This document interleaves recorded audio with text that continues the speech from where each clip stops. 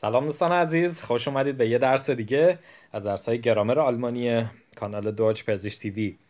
در ادامه درس های فعل های مهم آلمانی می‌خوایم یه فعل رو یاد بگیریم که همیشه با داتیو میادش فعل بگیگنن بگیگنن رو در این درس یاد می‌گیریم صرفش می‌کنیم و می‌بینیم که زمان حال و گذشته چطوری می‌تونیم ازش استفاده کنیم و باهاش جمله سازی بکنیم. خب بگیگنن یعنی چی؟ بگیگنن دوستان تخفن رو یادتونه با هم دیگه کار کردیم درس تخفن؟ تخفن به معنای دیدن یکی بود درسته؟ یکی با یکی قرار ملاقاتی داری یا یکی رو یه جای می‌بینیم. و البته تخفن معنی دیگه هم داشت که در اون درس با هم دیگه کار کردیم. برای دوستانی که تخفن رو ندیدن لینک درسش رو این بالا براتون قرار میدم. حالا بگگنن اون هم دیدن یه کسیه. یعنی کسی رو می‌بینید بیرون ولی موقع استفاده میشه که شما یک کس رو تصادفی بیرون می‌بینید. یعنی باش قراری نداشتید یه سر کلش پیدا میشه و یه جایی حالا به همدیگه می‌خورید یا همدیگه رو می‌بینید بدون برنامه ریزی قبلی. یعنی شما انتظار نداشتین طرف سر حالا تو ساختمونی جایی سر کلاسی یا هر جای دیگه ببینید.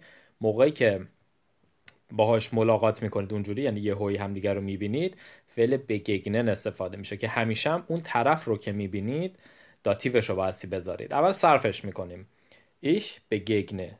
Du begegnest. Er begegnet. Sie begegnet. Es begegnet. Wir begegnen. Ihr begegnet و sie begegnen. خب حالا می‌رسیم به جملات زمان حال. Ich begegne einem Freund im Bus. Ich begegne einem Freund im Bus. یعنی من یک دوست رو تصادفی توی اتوبوس دارم می‌بینم. زمان اون حاله. البته این فعل دوستان بیشتر چون شما یکی رو تصادفی می‌بینید معمولا حالت پرفکتش و گذشتهش استفاده میشه. یعنی میگن که من فلانی و یهویی دیدم تصادفی دیدم. حالا بهش می‌رسیم. Ich begegne einem Freund im Bus. یعنی من یک دوست رو که پسره در اتوبوس می‌بینم. می‌بینید که einem Freund شده. درسته؟ چون داتیو باید بذاریم. Er begegnet seinem Lehrer auf einem Konzert. Er begegnet seinem Lehrer auf einem Konzert. اون پسره معلمش رو در یک کنسرت به صورت تصادفی یهویی می‌بینه. یعنی همدیگه رو ملاقات می‌کنن بدون اینکه از قبل با همدیگه برنامه داشتن که همدیگه رو ببینن. لقا د لقا پس میشه نم لقا Wir begegnen dem Chef ab und zu mal im Büro. یعنی ما رئیسمون رو هر از چنگاهی بعضی وقتا در دفتر در بوقو یهویی ملاقات می‌کنیم اب اونسو رو هم لینک درسش رو این بالا براتون قرار میدم که با مثال های بیشتر ببینید که چه معنی داره و چطوری استفاده میشه می‌بینید که اینجا هم دیم شف شده شف دی شفه میشه دیم شف درسته؟ حالت رفلکسیو هم این فعل استفاده میشه. Sie begegnen sich oft auf dem Weg zur Arbeit Sie begegnen sich oft auf dem Weg zur Arbeit یعنی اونها همدیگر رو اکثر اوقات اغلب اوقات در راه به سمت سر کار یا در در اثر راهی که دارید به سمت کار همدیگر رو ملاقات می‌کنن. Sie begegnen sich oft auf dem Weg zur Arbeit. حالا پرفکتش دوستان عزیز نکته مهمش اینه که پرفکتش با زاین میاد یعنی با هابن نمیاد دوستان. با زاین میاد و پارتیسیپسوای بگیگنن میشه بگیگنت حالا من می‌خوام بگم که من دیروز اون آقا رو به طور تصادفی یهویی ملاقات کردم. میگم ich bin ihm gestern begegnet. Ich bin ihm gestern begegnet. با زاین دوستان دیدید؟ و داتیو هم همیشه ثابت میمونه. یعنی من اون رو دیروز یهویی دیدم. Ich bin ihm gestern begegnet. به جای این می‌تونستم هم اسمش رو بذارم. Ich bin Tom gestern begegnet. یا ich bin به طور مثال یوناس gestern begegnet. یعنی من یوناس رو دیروز یهویی دیدم. Ich bin gestern einem alten Freund vor der Bibliothek begegnet. Ich bin gestern einem alten Freund vor der Bibliothek begegnet. من دیروز یک دوست قدیمیم رو جلوی کتابخانه یهویی ملاقات کردم Ich bin begegnet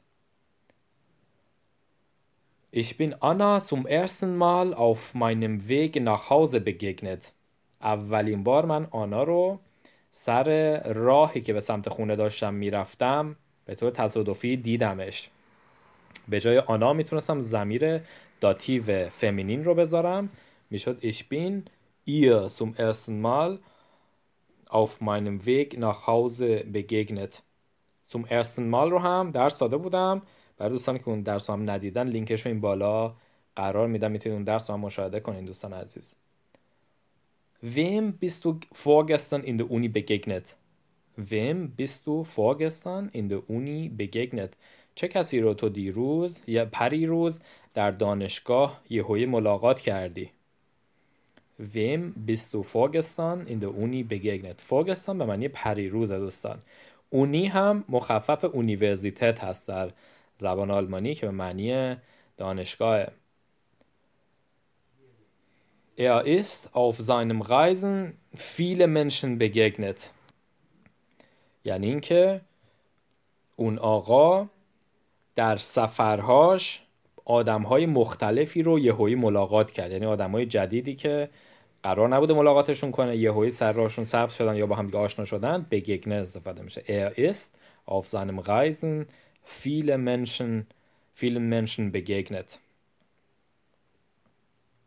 می‌بینید که vielen Menschen حالت Dativ داره دوستان Dativ Plural جمع حالا Präteritum فعل بگگنن بگگنته میشه درسته به طور مثال میگم auf ihren Reisen begegnete sie vielen verschiedenen Kulturen. Auf ihren Reisen begegnete sie viele verschiedenen Kulturen. حالا اینی که آدم یه هویه که ملاقات می‌کنه حتما نبستی آدم باشه. به طور مثال آدم فرهنگای جدید رو می‌تونه یه هویه ملاقات کنه یا حال تو آلمانی اینجوری گفته میشه begegnen کنه. یعنی یه هویی سر راش سبز بشه یه فرهنگ کشور دیگه. منظور اینه. ولی در کل این هستش که حتما برای انسان نبایستی باشه بلکه آدم می‌تونه آدمهای جدید یا فرهنگای جدید یا کشورهای جدید اینا رو هم begegnen کنه. یعنی یه هویی سر راهشون سبز بشه اون چیزا. Auf ihren Reisen begegnete sie vielen verschiedenen Kulturen.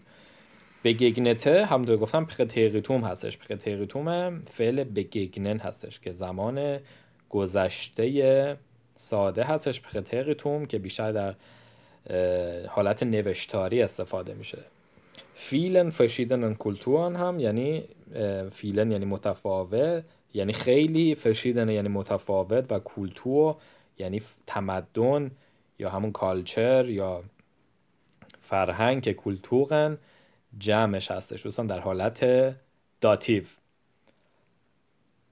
بله این هم از این فعل. امیدوارم که خوب یاد گرفته باشین دوستان. حالا به عنوان تمرین شما می‌تونید بگید که شما چه کسی رو بگگنن کردید. می‌تونین جواب این سوال رو به عنوان تمرین در کامنت ها بنویسید. تا درس های آینده بدرود دوستان عزیز.